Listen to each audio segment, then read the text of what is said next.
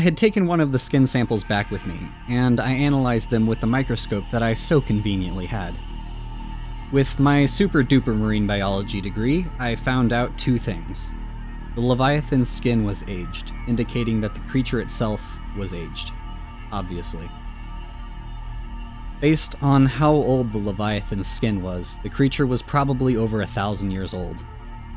The Leviathan must have been the only remaining, and now dead, specimen of a mosasaur superspecies that evolved very quickly in the Cambrian period, that somehow slipped under the fossil radar. Yeah, that makes more sense. And the unknown species of the Leviathan must have also evolved to live extremely long, be resistant to world ending catastrophes, and below freezing temperatures. But where would a giant 900 meter long creature hide unseen? Surely it would have easily been spotted by a satellite by now. I was so absorbed with my findings that not even the slightest caution came to mind when someone knocked on my door. I walked over to my front door and opened it, only to see Kyle. Kyle fucking Wilson! A guy who towered over me looked at me, winked, and swung a baseball bat at my face. The last thing I saw before passing the hell out was Kyle dropping the bat in front of the door and dragging me outside. Okay, for starters, Kyle, to put it extremely, so very nicely, is a huge asshole. We were in the same school from kindergarten up to somewhere in high school. He was notorious for starting fights and ending fights, but to my limited knowledge, he didn't actually kill anyone. Yet. Outside of his days in the legendary Navy SEAL Team 6 and his numerous combat jobs and private military work, in which his kill count was rumored to have been over 60. ISIS and Taliban and whoever else. The first time I saw Kyle was during kindergarten when he threw peanuts at me. I'm allergic to peanuts and I had to be rushed off to the hospital while he was giggling his little developing ass off. In middle school, he was literally beating the shit out of everyone.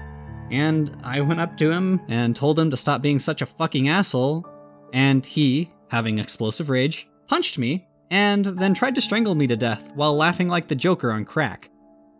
And as you can expect, the aftermath was much less than what people would normally call fair. The principal wanted to expel Kyle, but Kyle's dad, who was a judge in a court, had some strange powers not known to me, threatened to wipe the fucking school off the face of the earth. And just like that, magic. My high school zero tolerance fighting policy was gone, flushed down the toilet like a pile of legal shit. As you can imagine, Kyle hated me after the fight, and consequently, I tried to avoid him. But the fights eventually became inevitable. Kyle, a natural fighter, went out of his merry way to make my life miserable, pushing me down the stairs, chasing after me after school, and trying to punch me every chance he got. I don't know why, other than one incident, but the guy hated me. One day, I decided I had enough, and I snuck up on Kyle and I punched him in the back. Or at least I tried to punch Kyle. I somehow missed by a long shot, or Kyle somehow dodged it with his super psycho powers, and Kyle easily caught my fist. I'd like to leave out the details of what happened after he caught my fist. He broke my wrist, and broke my goddamn nose, but I only realized that after the pain was humanly comprehensible. To my surprise, I was expelled for starting the fight and provoking Kyle. That was the kind of fairness I got. I moved to another school, and I thought that was the end of it but this wouldn't be a book if it was. Kyle stalked me after school ended, and he beat my ass up whenever there weren't any witnesses. Eventually, I graduated, moved out of the town, got a degree in marine biology, and I moved to the seaside town I lived in, which is so far away from where Kyle was supposed to be. And yet, still, I'm lying on the floor unconscious because of Kyle again.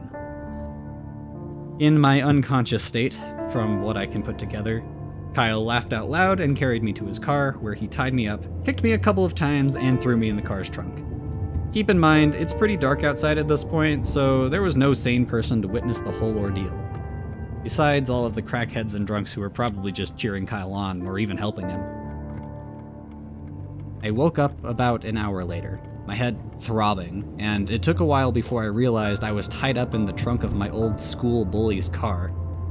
Panic started to rise in my chest, and I felt the start of an adrenaline rush like I was a guy sniffing bath salts and then biting a man's face off. How the hell had Kyle found me? I lived so many miles away from my old hometown in Washington, and most importantly, what the hell did he want from me? Focusing on escaping, I looked around for that glowing escape switch most modern cars had in their trunks. Even if I did find the switch, my hands were tied up. Turns out there was no switch. Kyle, that cheap fuck, had ripped it out. Then the car stopped. That was when I started to panic. From the darkness of Kyle's car, I thrashed and kicked, trying to get free of the ropes that were holding me down. I heard the driver's side door open, followed by footsteps coming to the trunk I was in.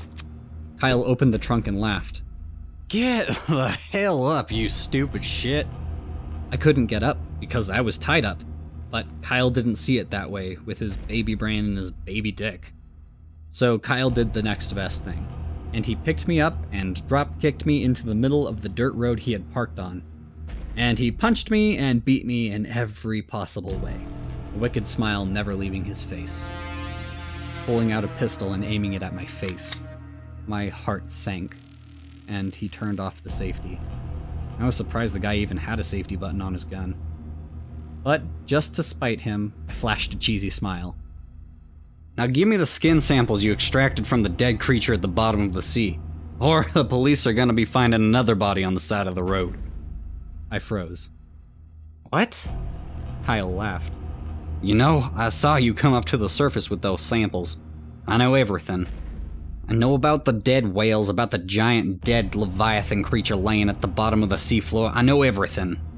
How? How'd you find me, Kyle? I have my sources. Odd illegal security jobs are prevalent here in modern day America. Obviously, you're not to give me a straight and proper answer because that's to be important for later. Or at least that's what my college degree thinks so.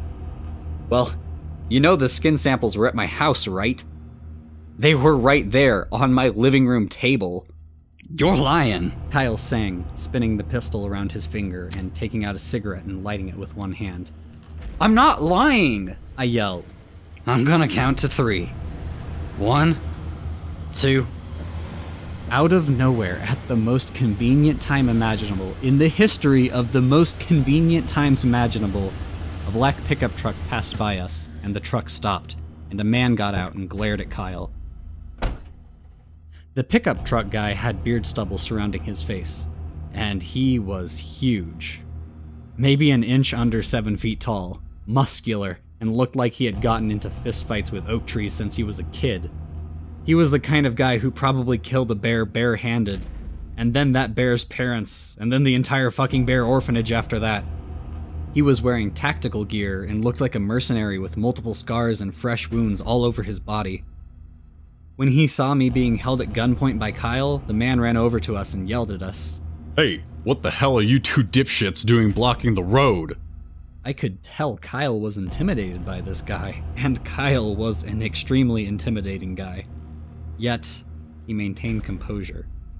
He laughed, shook his head, and sighed. Those are some nice last words. And without hesitation, Kyle made a very poor decision and walked right up to the guy, pointing his gun directly at the man's forehead, and fired. Well, Kyle did shoot, but somehow he missed the guy because the guy decided to do something about it. The very last second before Kyle fired, the man who towered over Kyle ducked and grabbed the barrel of the gun, pointing it sideways, just as Kyle pulled the trigger and he twisted his wrist and flipped Kyle using some judo technique, causing him to scream in glorious pain. I had to say, after a couple of decades of being tortured by this guy, it was very satisfying to hear him scream in pain for once. The gunshot echoed in my ears, making them ring. The man punched Kyle several times, and the two got into a grappling match, trading kicks, punches, elbows, and there was obviously some Krav Maga in there too. The man was twice Kyle's size, and it was very impressive how easily Kyle held up against him. The man got Kyle in a chokehold and began to put him to sleep. Kyle eventually escaped and ran into the woods when the man took out a pistol and started firing at him, yelling about how he would get his revenge as he disappeared into the woods. Holy shit! As you can see, I was just kidnapped. Uh, do something? I said, Sure. said the man, as he whipped out an enormous hunting knife, slicing through the thick ropes like they were hot butter. Laughing nervously, I stood up, checked myself for injuries, and thanked the man. Thanks. By the way, that guy was some asshole from high school. Yeah, Said the man.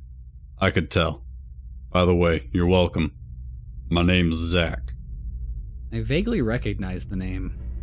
Zack was one of the monster hunters who lived in a cabin in the middle of the woods, in the middle of absolutely nowhere. I found out about him from the cliche small town gossip.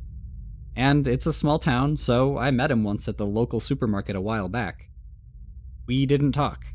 I just waited behind him in the checkout line while he paid for his groceries, which consisted of beer, some more beer, and expensive cigars. The monster hunters were a group of people who claimed they hunted wendigo, goatmen, tall deer, crawlers, sea monsters, and all such bullshit. What's your name? Zack asked. Oh, my name's Roger. Can you give me a ride home? I don't live far from here, and I just got my ass kicked to hell and back, and I think Kyle took my car keys with him. Sure. Although I wasn't thrilled to go ride in some random stranger's pickup truck, this random stranger just beat the shit out of the guy who had tormented me for five years.